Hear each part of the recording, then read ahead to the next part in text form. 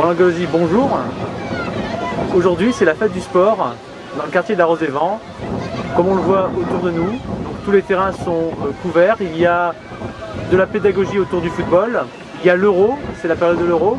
C'est quoi pour vous? C'est un grand moment. Quel est votre sentiment? Alors, effectivement, pour la ville d'Aulnay, c'est quand même un, un événement très important. En plus, c'est la première fois que nous accueillons ce national des débutants.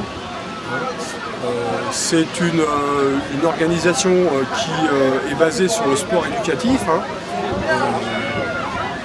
Le respect, lutte contre la violence, et à travers le- effectivement le, jeune footballeur. Voilà.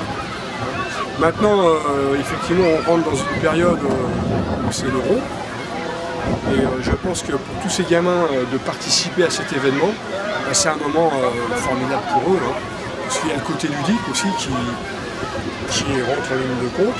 Voilà, et la ville d'Aulnay est très fière d'accueillir ce, ce rassemblement de tous ces enfants. Donc le temps est avec nous, il y a du soleil, un peu de vent. Donc est-ce que la, la fête est euh, à la hauteur de vos espérances? Alors la fête est à la hauteur de, de nos espérances. En plus, le service des sports, en collaboration avec le, avec le district et les clubs de, de foot aulnaisiens, ont, euh, ont vraiment réalisé une, une mise en place de, de- de qualité. Et je profite pour euh, effectivement euh, rendre hommage au service des sports qui est toujours vraiment efficace sur le terrain.